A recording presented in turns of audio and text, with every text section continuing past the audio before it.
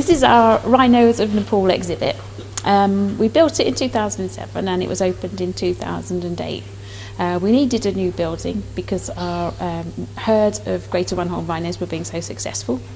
And in the space of four years, we had four youngsters. So obviously, we needed some more houses for them. So when we developed the house, um, we got together with the builders and the architects um, to try and make the building as green as possible. What we have incorporated in this building is, um, as you can see, it's very light and airy, um, and we have a lot of natural light, so we don't actually need to use uh, electric lighting in here.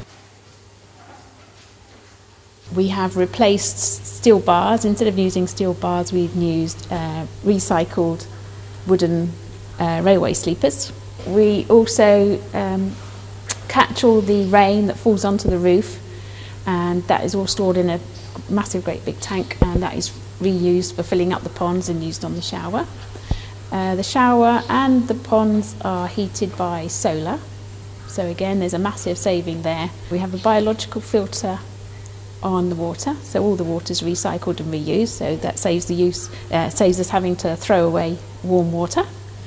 Uh, the roof tiles are made from sustainable wood. The building is um, well insulated and so we don't have to use a lot of heating and in the summer it stays, stays nice and cool as well.